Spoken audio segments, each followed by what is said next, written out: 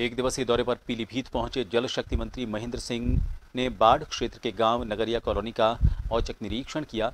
इस दौरान मंत्री ने बाढ़ बचाव को लेकर बाढ़ रोकने के लिए नदी पर जो काम किया जा रहा था, उसका निरीक्षण किया। मंत्री को कुछ खामियाँ मिली, इस पर मंत्री ने अधिकारियों को दिशा निर्देश दिए। मंत्री ने कहा कि लगातार बाढ़ से बचाव को लेकर सरकार तेज़ी से काम कर रही है। इससे कोई जनहानि या किसी तरह का कोई नुकसान नहीं होना चाहिए।